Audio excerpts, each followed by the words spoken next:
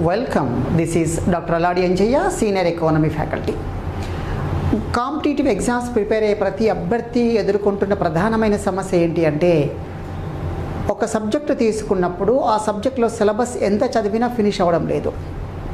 కొన్ని సబ్జెక్టులు మినహాయిస్తే ఎకానమీ విషయంలో మాత్రము ఎంత చదివినా సిలబస్ ఎండ్ అవ్వడం లేదని నాకున్న కంప్లైంట్ ఎందుకు సిలబస్ ఫినిష్ అవ్వడం లేదు? దానిలో మన లోపాలు ఏంటో ఒకసారి చూద్దాము.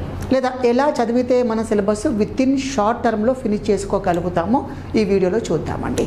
ఫర్ ఎగ్జాంపుల్గా మీరు ఏం తీసుకున్నా కూడా first syllabus is main criteria syllabus లేకుండా ముందుకెళ్ళకండి. సిలబస్లో ఎలా ఉంటుంది మళ్ళీ? నెక్స్ట్ టాపిక్స్ ఉంటాయి. ఈ టాపిక్స్లో సబ్ టాపిక్స్ ఉంటాయి. ఈ టాపిక్స్ లేదా మనం వీటికి ప్రౌడ్గా యూనిట్ అని పిలుస్తుంటాం. యూనిట్ అందులో టాపిక్స్ మళ్ళీ సబ్ టాపిక్స్ అని ఉంటాయి. సో అభ్యర్థులందరూ మీరు ఏం చేస్తారంటే ఏదైనా మీకు నచ్చిన యూనిట్ తీసుకోండి. మళ్ళీ ఇక్కడ కూడా చిన్న క్లారిటీ ఇస్తాను. నచ్చిన యూనిట్ అనగానే చాలా లెంతీగా ఉన్న సబ్జెక్టు తీసుకోవద్దు. ఫర్ ఎగ్జాంపుల్గా మనకు ఎకానమీలో వ్యవసాయ రంగం టాపిక్ ఉంటుంది. చాలా లెంతీ అండి. అది ఎంత చదివినా అవ్వదు. సుమారు ఒక ఫిఫ్టీన్ లెసన్స్ వస్తాయి. నెక్స్ట్ జాతీయ ఆదాయం ఉంది. అది చాలా టెక్నికల్ సబ్జెక్ట్ అది ఎంత చదివినా ఫినిష్ అవ్వదు. కాబట్టి ఇలాంటివి కాకుండా మనకు సులభంగా ఈజీగా అయ్యే యూనిట్స్ తీసుకోవాలి. అలా తీసుకోవడం వల్ల ఒకటే లాభం ఏంటి అంటే మన సిలబస్ స్పీడ్గా అయిపోతుంది. మనము ఒక స్పెసిఫైడ్ టైంలో ఒక sixty to seventy percent syllabus finish చేసుకోవాలి. అంటే sixty to seventy percent units చేసుకోవాలండి. అప్పుడు మన కాన్ఫిడెన్స్ లెవెల్ పెరిగిద్ది. అట్ ద సేమ్ టైం ఈ రిమైనింగ్ పార్ట్స్ను మనం ఈజీగా ఫినిష్ చేసుకునే అవకాశం ఉంటుంది. రివిజన్ అవుతుంది రెగ్యులర్ స్టడీ కూడా అవుతుంది అన్నమాట నేను ఎలాగో ఇప్పుడు చెప్తాను. ఈ మొత్తం సిలబస్లో ఇండియన్ ఎకానమీ కావచ్చును ఏపీ వారికి అయితే ఏపీ ఎకానమీ తెలంగాణ వాళ్ళకైతే Telangana economy and development economy ఇలా ఏదైనా కూడా కామన్గా సింపుల్గా ఉండే టాపిక్స్ మనం ఎంచుకొని స్టార్ట్ చేద్దాం. ఇక్కడ నేను ఎగ్జాంపుల్ ఏం చెప్తానంటే ఈ యూనిట్లో మనము ఈ యూనిట్ అండ్ టాపిక్ తీసుకుందామని ఎందుకంటే ఒక్కొక్కరికి ఒక యూనిట్ ఒక టాపిక్ వేరుగా ఉంటుంది కదా. నేను ఇండస్ట్రీ అనే టాపిక్ తీసుకుంటున్నాను. Industry agriculture sector industrial sector ఉంది కదా. ఇండస్ట్రియల్ సెక్టార్ తీసుకున్నాను ఇప్పుడు నేను. ఈ ఇండస్ట్రియల్ సెక్టార్లో సబ్ టాపిక్స్ ఉంటాయి. ఇది ఇది కీలకమైంది. సబ్ టాపిక్స్ ఉంటాయి అన్నమాట ఈ సబ్ టాక్స్ మనం ఫస్ట్ ఒక పేపర్ పెట్టుకుని ఆ పేపర్లో వరుసగా రాసేసుకోవాలి. ఏం రాసుకోవాలి? సబ్ టాపిక్స్ ఫర్ ఎగ్జాంపుల్ చెప్తానండి. ఇక్కడ సబ్ టాపిక్స్ ఎలా ఉంటాయంటే ఫస్ట్ పరిశ్రమలు నిర్వచనం ఉంటుంది. డెఫినేషన్ ఆఫ్ ది ఇండస్ట్రీ అని ఉంటుంది. పరిశ్రమ నిర్వచనం ఉంటుంది. నెక్స్ట్ అంటే ఇది ఒకటే పాయింట్ అంటే దీనికి అనుబంధంగా ఏం చేయాలి మనం? పరిశ్రమలు రకాలు ఉంటాయి. తీసుకోవాలి. పరిశ్రమలు రకాలు. ఇది ఒక సబ్ పాయింట్ అనుకోండి. సబ్ పాయింట్ టాపిక్ సెకండ్ ఈ పరిశ్రమలు అనే టాపిక్ తీసుకోగానే ఇందులో ఏమైనా కాన్సెప్చువల్ పాయింట్స్ ఉన్నాయా? స్టాటిక్ పాయింట్స్ ఉన్నాయా? డైనమిక్స్ పాయింట్స్ ఉన్నాయా? అనేది కూడా మనం ఈ సబ్ టాపిక్స్లో జాగ్రత్తగా పొందుపరచుకోవాలి. అయితే ఈ పరిశ్రమలు పరిశ్రమ రకాలు ఇస్తున్నప్పుడు మనకు ఇండస్ట్రీలో కనబడే ప్రధానమైన ఏంటి అంటే భారీ తరహా పరిశ్రమలు ఉంటాయి చిన్న తరహా పరిశ్రమలు ఉంటాయి. ఈ రెండింటిపైన మనం మళ్ళీ స్పెషల్గా ఫోకస్ చేసుకోవాలి. ఇప్పుడు ఏమవుతుంది? రకాలు అంటే ఇందులో చాలా ఉంటాయి. ప్రాథమిక రంగ పరిశ్రమలు వ్యవసాయ ఆధారిత పరిశ్రమలు ఖనిజ ఆధారిత పరిశ్రమలు ఇలా చాలా డిఫరెంట్ ఇండస్ట్రీస్ ఉంటాయండి. Agro based industries mineral based industries ఇలా different types of genetic industries primary industries ఇలా డిఫరెంట్ ఇండస్ట్రీస్ ఉంటాయి. మనం ఆ ఇండస్ట్రీస్ అన్నీ కూడా చదువుకుంటూ వెళ్ళాలి. ఇది సబ్ టాపిక్ వన్ మళ్ళీ ఇందులో మళ్ళీ మెయిన్ టాపిక్ నుంచి మళ్ళీ డీవియేట్ అవుతుందే ఉండదు. అంటే భారీ తరహా పరిశ్రమలు చిన్న తరహా పరిశ్రమలు ఉంటాయి. మళ్ళీ ఈ భారీ తరహా పరిశ్రమలో మళ్ళీ కొంచెం ఒక కేటగిరీ రాసుకోవాలి. మనం ఇందులో చాలా important iron and steel industry ఉంది. ఇనుము ఉక్కు పరిశ్రమ జూట్ ఇండస్ట్రీ జనపనార పరిశ్రమ textile industry textile sugar industry ఇలా ఇలా ఉన్నాయి కదా. ఈ ఇండస్ట్రీస్ని రాసేసుకొని ఒక్కొక్క దాన్ని మనం నీట్గా చదివేసుకుంటూ వెళ్ళాలి. ఇక ఇది పాయింట్ నెక్స్ట్ చిన్న తరహా పరిశ్రమలో మెయిన్గా మనకు ఎంఎస్ఎంఈ వస్తుంది. దీన్ని సబ్ పాయింట్ థర్డ్ రాసుకొని ఎంఎస్ఎంఈస్ అని అంటాము. మైక్రో స్మాల్ మీడియం ఎంటర్ప్రైజెస్ అనేది ఉంది. ఇది చాలా ఇంపార్టెంట్ టాపిక్ అండి ఇప్పుడు ప్రజెంట్గా కాబట్టి దీని మీద మనం ఎక్కువ ఫోకస్ చేయాలి. చూడండి ఇందులో నేనేం చెప్పాను? మొత్తంలో ఇది హైలైటింగ్ చేయాలి. ఎందుకంటే అక్కడ క్వశ్చన్ డ్యామ్ షూర్గా పడతాయి నెంబర్ ఆఫ్ క్వశ్చన్స్ ఎక్కువ పడతాయి. అదేవిధంగా ఇవి చదివినాక తరహా పరిశ్రమలు ఇవన్నీ చిన్న తరహా పరిశ్రమలో ప్రజెంట్ అంతర్భాగాలే కాబట్టి ఇవి చదువుకుంటారు. నెక్స్ట్ ఫోర్త్ వచ్చేసరికి భారత ప్రభుత్వం ఏమైనా ఈ పరిశ్రమలకు ప్రోత్సాహకాలు ఇచ్చిందా? ఇనిషియేటివ్స్ అంటాం. Initiative to the industrial sector అని చెప్తుంటాము. స్పెషల్లీ ఎంఎస్ఎంఈ సెక్టార్ అని చెప్తుంటాము. ఇందులో స్టేట్ గవర్నమెంట్ స్టేట్ లెవెల్లో అయితే స్టేట్ ఎకానమీ చదవాలి. ఇండియన్ అయితేనేమో ఇండియన్ ఎకానమీలో గవర్నమెంట్ ప్రమోషన్స్ కావచ్చును ఇనిషియేటివ్ కావచ్చు మనం అధ్యయనం చేయాల్సిన అవసరం ఉంటుంది. ఇగో ఇది అండి. ఇవన్నీ మనం చదువుకుంటాం. నెక్స్ట్ అందులోనే ఈ పరిశ్రమకు సంబంధించిన వివిధ పథకాలు ఉంటాయి. స్కీమ్స్ అని చెప్తుంటాం. పథకాలు లేదా స్కీమ్స్ ప్రోగ్రామ్స్ అని ఉంటాయి కదా అవి చదివేసుకుంటాం. ఆ తర్వాత అంతా యొక్క లాస్ట్కి నూతనంగా ఉన్న ప్రజెంట్ ఉన్న బడ్జెట్ అండ్ సర్వేలో పరిశ్రమలకు సంబంధించి ఎలాంటి అంశాలను తీసుకున్నారు.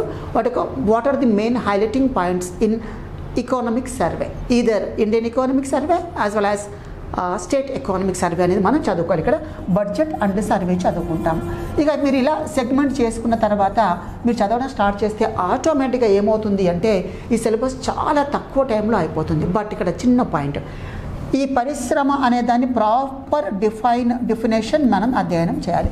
పరిశ్రమ అనగానేమి? What is meant by industry పరిశ్రమ అంటే ఏంటి? అంటే ముడి సరకులు లేదా ముడి పదార్థాలను తీసుకొని అంతిమ వస్తువులుగా మార్చే ఒక యూనిట్ ఆ యూనిట్ పేరే ఇండస్ట్రీ అంటారు. If any unit or any entity if shifts or turns raw material into final good or consumer good or, or, or capital good, whatever that. That is known as industry according to economics. ఇగో ఇది అన్నమాట. ఈ definition ప్రాపర్గా ఉండాలి మళ్ళీ మనకి.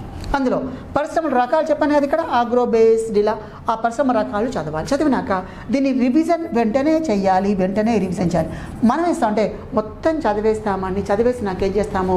Revision start చేస్తాం అప్పుడు ఈ చివరికి వెళ్ళేసరికి ఇక్కడున్న ఈ మెయిన్ పాయింట్స్ మనం మర్చిపోవడం జరుగుతూ ఉంటుంది. కాబట్టి అభ్యర్థులు ప్రతి టాపిక్ అయిపోయిన తర్వాత రివిజన్ వెంటనే చేయాలి రివిజన్ అనేది మ్యాండేటరీగా పరిగణలోకి తీసుకోవాలి. అలా చేస్తే ఈ టాపిక్ మొత్తం మనము ఒక టూ టు త్రీ డేస్లో ఫినిష్ చేసుకోవచ్చు. ఎలాగో కూడా చెప్తాను చూడండి ఇక్కడ. పరిశ్రమలు రకాలు చూడడానికి ఒక టూ అవర్స్ పడుతుందండి. రెండు గంటలు బల అంతకన్నా ఎక్కువ పట్టదు. ఈ భారీ తరా పరిశ్రమలకు ఒక టూ అవర్స్ పడుతుంది చిన్న తరా పరిశ్రమకు ఒక టూ అవర్స్ పడుతుంది. ఇలా సెగ్మెంట్ చేసుకోవాలి. అండ్ ఎంఎస్ఎంఈలు ఇందులోకి వచ్చేసేయండి. నెక్స్ట్ ఇనిషియేటివ్స్కి ఒక టూ అవర్స్ అనుకోండి. స్కీమ్స్ అండ్ బడ్జెట్ ఇవంతా ఒక టూ అవర్స్ అని అనేసుకోండి. అప్పుడు చూడండి two four six eight ten ten hours అనుకోండి. ఇంకా ఏదైనా అడిషనల్గా ఉంటే ఒక టూ అవర్స్ వేసుకోండి. అంటే ట్వెల్వ్ అవర్స్ అయిపోతుంది ట్వెల్వ్ అవర్స్ మనం ఎకానమీ ఏం చేయాలి? ఖచ్చితంగా మార్నింగ్ ఒక టూ అవర్స్ చదవాలి. నైట్ ఒక టూ అవర్స్ చదవాలి. And daily four hours two plus two morning two and evening two daily four hours చదవాలి. ఫోర్ త్రీ జా ట్వెల్వ్ అవర్స్ ట్వెల్వ్ అవర్స్లో అంటే త్రీ డేస్లో మీ యొక్క ఎకానమీ ఫినిష్ అయిపోతుంది. అది కూడా ఫుల్ డే కాదు just daily four hours morning and evening two two hours చదివితే మీకు ఎకానమీ టాపిక్ మొత్తం అయిపోతుంది. ఒక త్రీ డేస్లోనే మీరు అధ్యయనం చేయొచ్చు. సార్ త్రీ డేస్లో ఒక యూనిట్ అయిపోతుందా? ఎస్ అబ్సల్యూట్గా అయిపోతుంది. అయితే వెంటనే ఏం చేయాలంటే మళ్ళీ స్టేట్ ఎకానమీకి రావాలి. స్టేట్ ఏపీ వారు ఏపీ స్టేట్ ఎకానమీ తెలంగాణ వాళ్ళు తెలంగాణ స్టేట్ ఎకానమీకి రండి. వచ్చి వెంటనే ఇండస్ట్రీ చదవండి. ఇక్కడ త్రీ డేస్ చదవాలి కదా.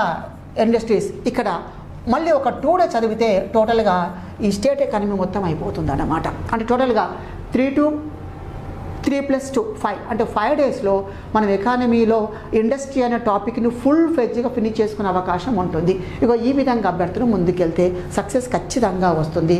మళ్ళీ నేను చెప్తున్నా revision is very very important. అందరు చదువుతారండి రివిజన్ దగ్గరే షార్టేజ్ ఉంది. రివిజన్ అయిన తర్వాత మళ్ళీ ఏం చేయాలంటే మెయిన్గా ప్రాక్టీస్ అండి questions number of times practice చేయాలి. సార్ ప్రాక్టీస్ ఎక్కడ ఉంటుందంటే మన అల్లాడి పబ్లికేషన్స్లో మన విద్య అల్లాడి పబ్లికేషన్ యాప్లో మీకు అనేక అనేక అనేక ప్రాక్టీస్ టెస్ట్లు ఉన్నాయి. అన్ని అన్ని సబ్జెక్ట్స్ అంటే ఆల్ పేపర్స్ ఉన్నాయి. స్పెషల్గా ఎకానమీ కూడా ఉంది.